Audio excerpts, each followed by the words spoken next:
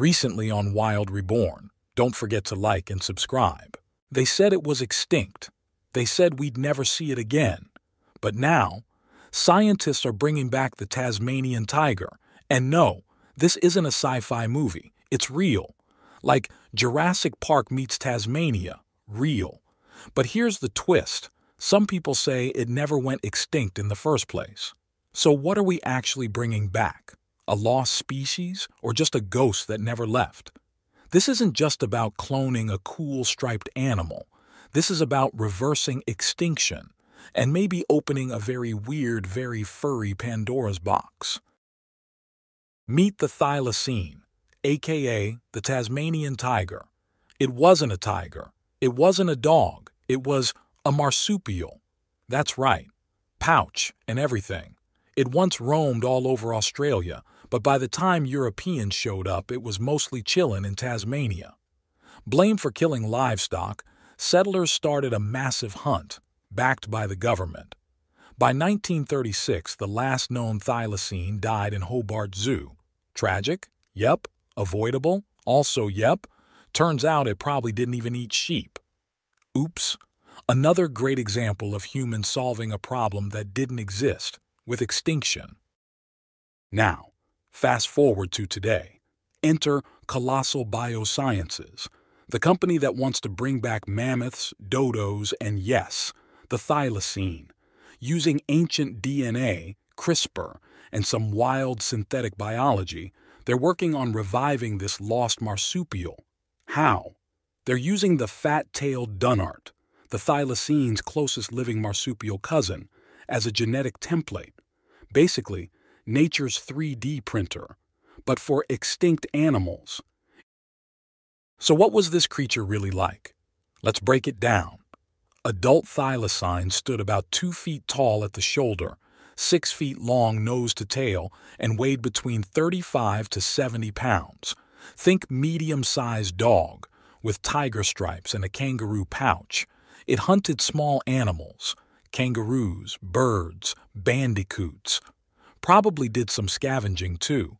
And despite the bad PR, it likely wasn't the sheep-slaying menace settlers thought it was.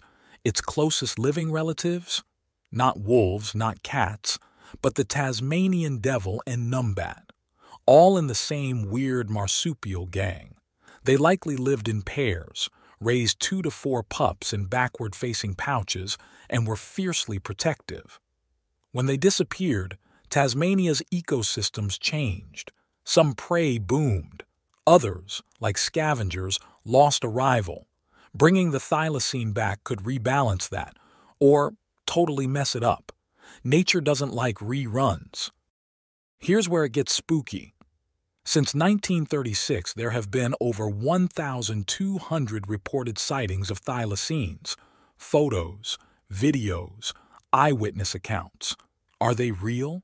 Are they hoaxes? Are people just seeing weird dogs?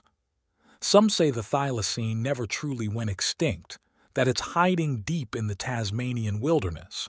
So, if we're already de-extincting an animal that might still be alive, what exactly are we doing?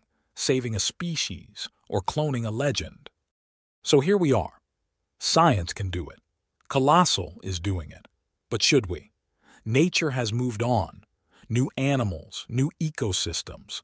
Inserting an extinct predator could have ripple effects no one can predict, but it could also be our redemption story proof that we can undo even the worst mistakes, a symbol for conservation and hope.